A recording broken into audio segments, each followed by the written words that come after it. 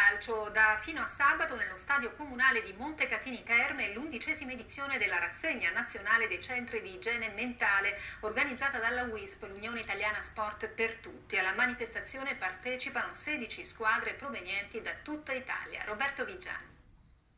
Il calcio è un modo per stare insieme, divertirsi e togliere qualche pensiero di troppo Giuseppe ha 30 anni e gioca a calcio da circa 6. È un paziente psichiatrico che grazie al pallone è riuscito a seguire un percorso riabilitativo e a integrarsi nella società. È la storia di un ragazzo che partecipa all'undicesima edizione di Matti per il calcio, quattro partite al giorno, più di 200 persone coinvolte e 16 squadre in campo formate da persone con disagio mentale, medici, infermieri e operatori. Un risultato direi grandissimo, proprio così, dicevo un punto di arrivo, un punto di ripartenza, quindi diciamo un po' la rappresentazione di un'attività che WISP porta avanti da oltre 30 anni, diciamo il pallone, il calcio, il gioco come terapia.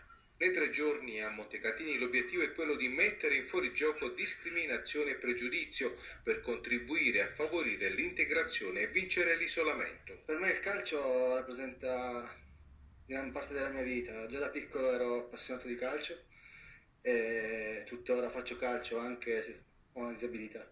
L'appuntamento toscano è solo l'atto conclusivo delle tante attività sportive svolte durante l'anno dalla WISP, attività che permettono a questi ragazzi con disabilità psichica di affrontare i rispettivi percorsi e le terapie farmacologiche con un atteggiamento diverso. In questi anni abbiamo visto passare veramente situazioni differenti, abbiamo visto ragazzi riabilitarsi, abbiamo visto ragazzi ripartire